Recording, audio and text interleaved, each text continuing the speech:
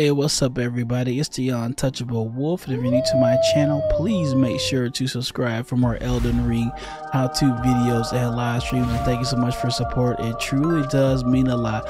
Today I'm be talking about how to use the Great Sword of Radahn. So you see I have it at plus 7. So first let me show you how you get this weapon. You want to make sure to go and defeat the final boss, Radahn, and I do have a video on how to defeat him, so make sure to check that video out. But once you defeat him, you can turn his remembrance in and get the Great Sword of Radahn, the Lord version. There is a light version as well. So when it comes to the Lord, you see right here has the weapon skill, the Promise Consort. The FP cost is 20. Attack power, we have the physical at 255 plus the 308.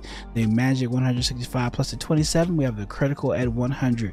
Attributes required, you have strength at 32, dexterity at 24, and intelligence at 15. You see it scales in strength, dexterity, and intelligence.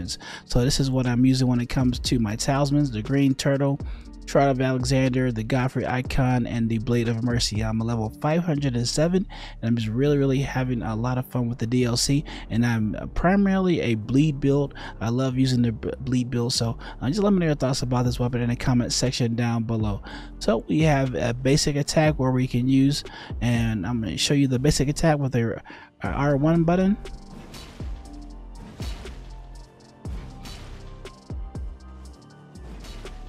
Alright, we have a heavy attack, charging it up with the right trigger.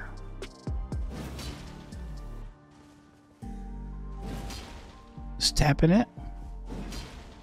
You can dual it and it will bring both swords out, which is really, really cool. Now keep in mind when it comes to the skill, it does have two additional follow-up attacks. So you want to press the left trigger and then at the end of the move, press the left trigger and then at the end of that move, press the left trigger again. So I'll show you what I mean.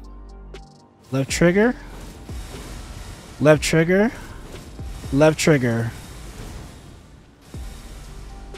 So that's really, really cool. Let me know your thoughts about that skill in the comment section down below. So I'll show it again for you guys.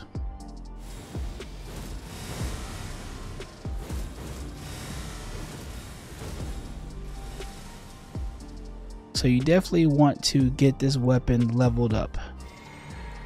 Alright, so I'm going to show you some gameplay. going to test it out with enemies right here and they know me very, very well up in here. So let's go and let's do this and let's have some fun. What's up, guys?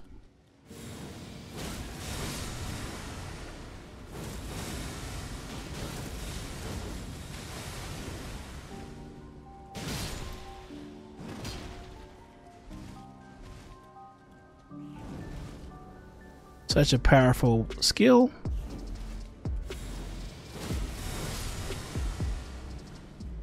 And the final boss, you definitely want to get your your weapons leveled up. Let's do some basic attacks here.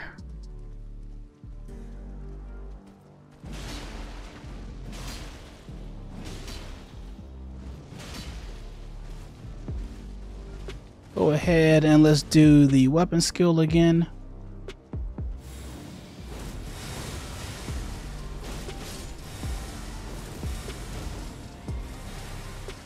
I'm talking about. Let's go.